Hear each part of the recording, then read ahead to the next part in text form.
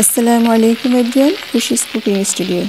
আমি আজকে আপনাদের জন্য নিয়ে এসেছি বেগুন দিয়ে তৈরি মজাদার এক রেসিপি খুবই আনকমন রেসিপি চলুন তাহলে কীভাবে আমরা এটা বানাবো একটু দেখে নিই। এখানে আমি কতগুলো বেগুন নিয়ে নিয়েছি। এখন আমি এগুলোকে দুই ভাগ করে কেটে নিচ্ছি। আমি সবগুলো কেটে নিয়েছি।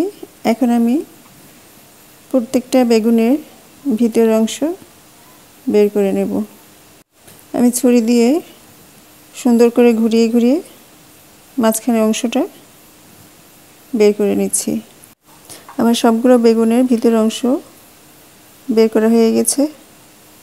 এখন আমি সেই ভিতরের অংশগুলো একটু কুচি কুচি করে নেব।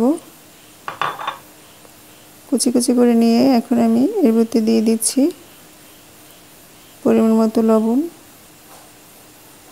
দিয়ে দিচ্ছি পেঁয়াজ কুচি, কাঁচামরিচ কুচি, মরিচের গুঁড়া, হলুদের গুঁড়া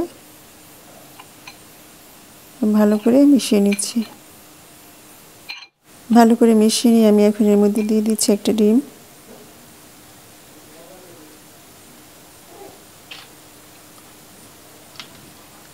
ডিমটা দিয়ে আমি এখন ভালো করে মিশিয়ে নিচ্ছি।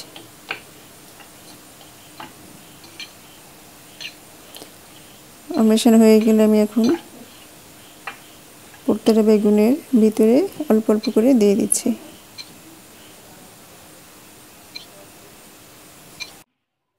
আমার সবগুলো ডেকোরেশন করা হয়ে গেলে আমি এখন দিয়ে দিচ্ছি এর ভিতরে সস, টমেটো সস দিয়ে দিচ্ছি। আপনারা যদি টমেটো থাকে ঘরে, তাহলে আপনি এর ভিতরে টমেটোও দিতে পারেন, ছোট ছোট পিস করে।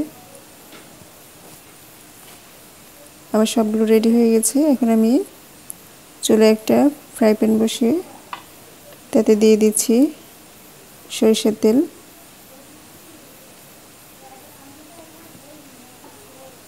সব দিকে ঘুরিয়ে সরিষার তেলটা একটু ছড়িয়ে দিচ্ছি। এবার তেলটা গরম হয়ে আসলে আমি এখন একটা একটা করে বেগুন এখানে সাজিয়ে দিয়ে দিচ্ছি। সবগুলো বেগুন আস্তে আস্তে করে সেট করে নিচ্ছি। আর সব সেট হয়ে গেলে আমি এখন ঢাকনা দিয়ে মিডিয়াম হিটে দশ থেকে পনেরো মিনিট জাল করে নেব। কিছুক্ষণ জাল করার পর আমি এখন ঢাকনা উঠিয়ে আবার এটাকে একটু উল্টিয়ে দিচ্ছি। আমি সবগুলো বেগুনকে উল্টে দিয়ে ঢাকনা দিয়ে আরেকটু সময় ভেজে নেব। এবার আমি বেগুনগুলোকে উঠিয়ে নেব। আমার বেগুনটা তৈরি হয়ে গেছে।